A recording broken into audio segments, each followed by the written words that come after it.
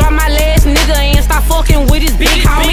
Running through these niggas, Lori Harvey ain't got shit on me. I know them bitches watching, I look like a fucking lick dog. Talking about me to that nigga, bet he know that I'm the shit on me. Money came by love, but they can't buy me that new vet dog. My pockets large, I'm eating good, I'm feeling like a fat hoe. Not stepping on no toes because I'm at this bitch's neck hoe.